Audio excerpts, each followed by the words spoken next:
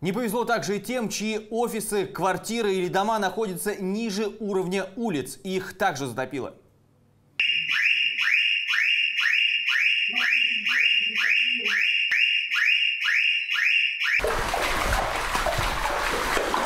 Я пришел, увидел просто 19-литровые целые бутылки вот с водой, которую мы заказываем, как они просто вот плавают. э, То есть их э, тут вода была вот посюда. Вот, отошли стены, вот. Вот это вот увидели. Компьютеры у нас все в воде, 7 системных блоков. Вот была у меня тумбочка. Вот что с тумбочкой стало. То есть вода стояла вот посюда.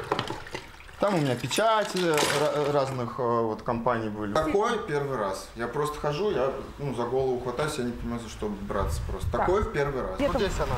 А? Вот здесь она. Что здесь? Ливневка. Здесь ливневка находится? Да. И не см- Она не работает. Затопило полностью все, никогда такого не было. Даже дома на полу была вода. Все было в воде, вот откачал. Все было полностью в воде, все пошло под дом. На полу везде вода, у внучки вода, у нас вода на полу. Это я еще пес- песком засыпал, чтобы она, а то она вся, вся пойдет туда. Вот, вот, вот воды было, вот воды было. Вот, вот так воды. Смотрите, сейчас вот сюда пойдет волна, смотрите. Смотрите, вон она, видите? Вон она. Вон она. Видите? И она вся туда идет.